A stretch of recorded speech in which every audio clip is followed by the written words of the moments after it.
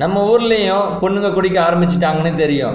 ஆனால் இந்த அளவுக்கு இல்லைன்னு அடித்து சொல்லலாம். நல்ல குடும்ப குத்து விளக்கு மாதிரி இல்லாட்டியும் பரவாயில்லை. இப்படி ராவா அடிச்சிட்டு மட்டையாகாத பெண்களாகவே இருக்கணும். இது என்ன? பசங்க குடிக்கலாம் பொண்ணுங்க குடிக்கக்கூடாதுன்னு கேள்வியை தோல் மேலே தூக்கி போட்டுக்கிட்டு வரலாம். பசங்க குடிக்கிறதே தப்பு. இதில் நீங்களுமா? வெளிநாட்டில் எந்த அளவுக்கு குடிபோதையில் மயங்கி என்னென்ன அட்டுழியம் செய்கிறாங்கன்ட்டு இந்த வீடியோவில் பார்க்கலாம். நல்ல ஜிம்மாசி தெரிஞ்ச பொண்ணாக இருக்கும் போல.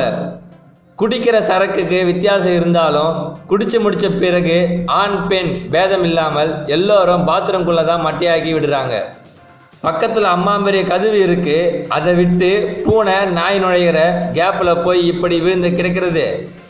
அற்புதம். என்னதான் போதையாக இருந்தாலும் பெண்ணுங்க கரெக்டாக மெத்தை விரிப்பில் தான் போய் படுத்திருக்காங்க. என்ன? தலையணை நினச்சிக்கிட்டு பக்கத்தில் இருந்த குப்பை பக்கெட்டுக்குள்ளே தலையை விட்டு படுத்துக்கிட்டு இருக்காங்க. அம்புட்டு தான் பரவாயில்லை. மற்றவங்களோட ஒப்பிடும்போது இந்த பொண்ணு கொஞ்சம் டிஃப்ரெண்ட்டு தான். அடித்த போதையே தெரியல அதுக்குள்ளே இன்னொரு ஃபுல் பாட்டில் பீரா டிராஃபிக் ஜாம் ஆயிடுச்சுன்னு நினச்சி அந்த பெண்ணு கார் மேலேயே படுத்து தூங்கிடுச்சு. என்ன சுகம்? என்ன சுகம்? மல்லாக்க படுத்துக்கிட்டு விட்டத்தை பார்க்கறது என்ன சுகம்? அதுவும் முழு போதையில்? அம்புட்டு அழகாக பிளாட்ஃபார்மில் படுத்துட்டு தூங்குறத பாருங்க. ஐயோ நீ என்ன பண்ணிட்டுமா இருக்க? என்னதான் கேர்ள்ஸ் பார்ட்டியாக இருந்தாலும் ஏமா அதுக்குன்னு வாஷ் பேஷன்லேயே உச்சா போகுது? இதை வேற நீ ஃபோட்டோ வேற எடுத்து வச்சிருக்க. ஒரு நல்ல ரொமான்ஸ் காட்சி. இதை விட மோசமாக யாராலையும் கொடுக்க முடியாது. ஏமா எடுக்கிறது தான் எடுக்கிற? ஒரு ரெண்டு அடி தள்ளி அந்த பக்கமாக போய் எடுக்கலாம்ல.